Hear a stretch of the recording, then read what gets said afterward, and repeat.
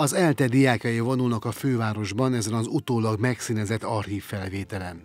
1956. október 23-án a Rákosi diktatúra elnyomása ellen szerveztek tüntetést egyetemisták. A demonstrációhoz nagyon hamar csatlakoztak a munkások is.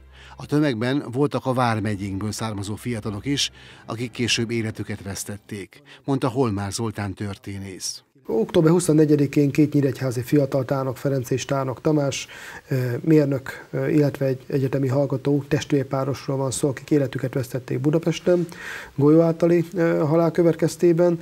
Őket még a forradalom megbecsülése egyében az édesapja haza tudta hozatni a, a holttestüket és el tudta temetetni Nyíregyházán, mai napig ugye itt található a sírjuk az északi temetőben, de október 24-én hunyt el Hegerős István is, a, a régi, emlékeznek még az idősebbek a régi 20 forint forintos bank hátoldalán, a modellt ő állta, aki az egyik kezében kalapácsot, mások kezében búzakalást fogott.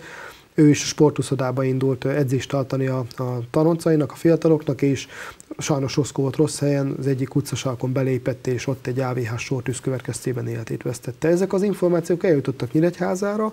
A diákok kezdték a tömegdemonstrációt, kezdeményezték.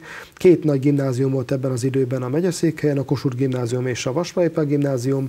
A kossuthosok értemszerűen a Kossuth téren akartak tömegdemonstrációt tartani, még a vasvárisok a Petőfi szobornál. A forradalom leverésére aztán november 4-én indult meg a szovjet invázió, amelynek első helyszíne Nyíregyháza volt.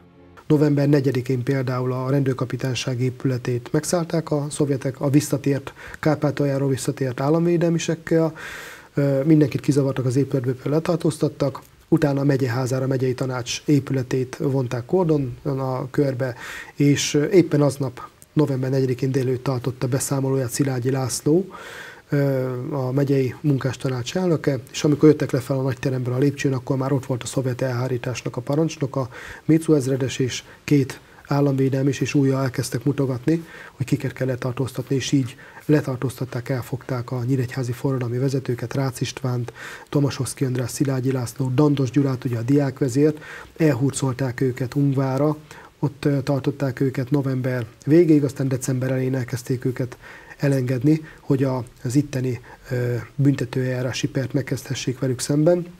Ezt a kis rövid időszakot egy-két ember igyekezte kihasználni. Dandos Gyula például Svájcba próbált szökni, ő a Szent Gotthárdi szanatóriumba került, onnan akart átszökni a határon, de egy határőr lelőtte, míg Kabai Dezső a nemzető parancsnok, ő meg Jugoszlávián keresztül jutott el Nyugat-Németországba, és ott is élt egészen a rendszerváltásig.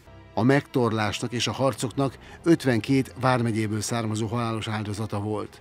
Köztük a Nyíregyházi forradalom vezetőit, Szilágyi Lászlót és Tomosovszki Andrást kivégezték.